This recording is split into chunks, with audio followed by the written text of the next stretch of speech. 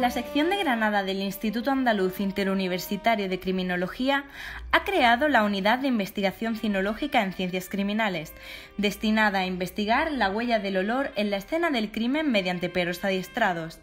Esta unidad va a impulsar el análisis científico de la criminalística forense en el ámbito universitario y persigue situar a la Universidad de Granada a la cabeza de las investigaciones en esta materia.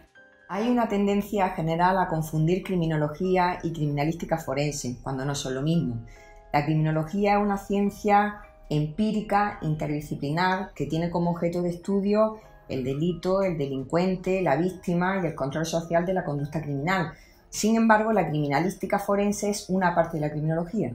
La criminalística dentro de la criminología sería el compendio de ciencias forenses cuyo objetivo es la identificación del individuo autor de unos hechos y así como la obtención de indicios y pruebas suficientes como para poder procesar a este autor.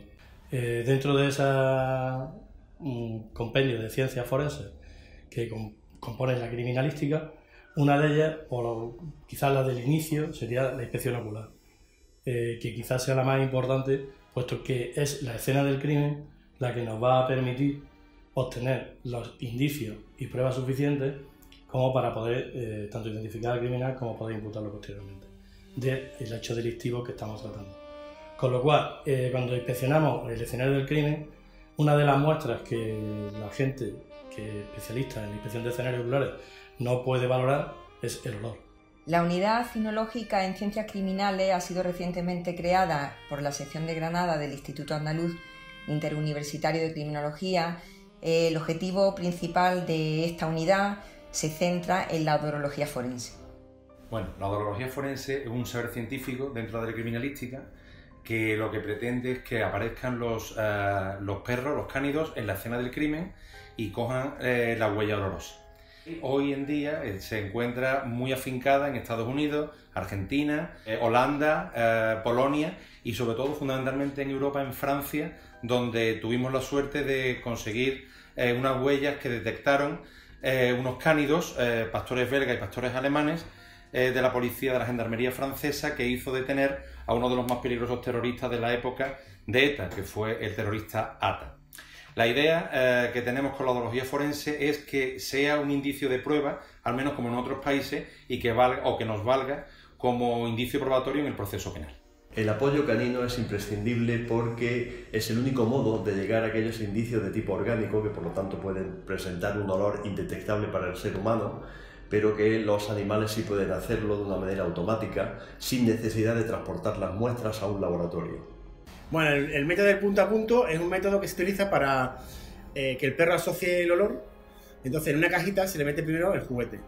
El perro se acostumbra a que siempre hay un premio en esas cajitas. Entonces, en una de ellas está su juguete. Una vez que el perro ha asociado que en una de las cajitas está su juguete, metemos el, el olor que nosotros deseamos, ya sea resto humano ya sea estupefaciente, ya sea explosivo, cualquier tipo de olor. Una vez que el perro ha asociado ese olor que le da el juguete, quitamos el juguete. Y cuando quitamos el juguete, el perro va a pasar de largo la primera vez porque él está buscando su juguete. Pero tiene el segundo olor que él ha, eh, contactado. Se para y al pararse le premiamos. Entonces, él sabe que ese olor le trae el juguete. Criminalística, como en cualquier ámbito de canino, se utilizan las, razas más básicas y que mejor producto dan, que son el pastor alemán y el pastor belga.